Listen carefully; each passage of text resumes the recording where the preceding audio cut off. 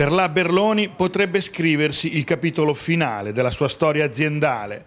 I soci di maggioranza taiwanesi che detengono il 99% delle quote societarie hanno messo in liquidazione l'azienda, il che vuol dire interruzione della produzione e licenziamenti una pentola di acqua bollente sulla testa di 85 famiglie di lavoratori che a 20 giorni dal Natale hanno ricevuto questa bella strenna fatta di angoscia, frustrazione e incertezza per il proprio futuro. La storia della Berloni è iniziata negli anni del boom economico italiano, gli anni 60, quelli della rivoluzione industriale e del benessere diffuso, fino ad arrivare negli anni 90 ad essere una delle aziende al top nell'Olimpo dei mobilieri a livello nazionale assieme ad altri marchi storici pesaresi. Poi la crisi strutturale partita nel 2009 ha portato l'azienda nel 2013 sull'orlo del baratro e lì è stato l'inizio della fine perché per superare la crisi si inizia a fare lo spezzatino e a vendere i rami dell'azienda.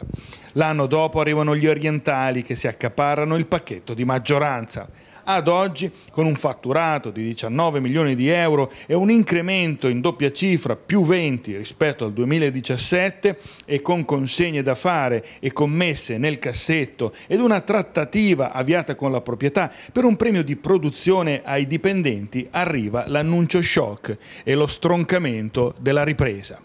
Questa mattina agli 85 dipendenti e ai sindacati si è ripresentato lo spettro che sembrava essere scongiurato. È arrivata questa decisione presa dal, da, dai soci a maggioranza, da quella che abbiamo capito, che è quella di mettere in liquidazione. Quindi non la capiamo, in più è terribile perché mettere in liquidazione una società vuol dire eh, interrompere l'attività produttiva e di fatto quindi interrompere anche tutti i rapporti di lavoro in atto. Adesso vedremo cosa è possibile fare con l'eventuale liquidatore che arriverà, le sue decisioni quali saranno, noi saremo sempre a chiedere che l'azienda rimanga sul territorio che continui a produrre perché è un'azienda che ultimamente non è che andava male, anzi era un'azienda in espansione e stava crescendo. Non riusciamo a capire questa scelta che noi riteniamo anche scellerata. Il sindacato farà quello che è nelle sue competenze, speriamo bene, stiamo sperando in questo momento.